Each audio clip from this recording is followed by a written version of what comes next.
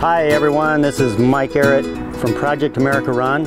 I'm a Hyland's Master Athlete Ambassador and I'm giving you a shout out from Van Nuys, California where I took part today in Operation Gratitude, a fantastic organization. We packaged up over 17,000 parcels, had over a thousand volunteers taking part in this. Those packages were individually addressed to our service members overseas, a wonderful gesture of gratitude on this Veterans Day that's coming up from this great little community in California.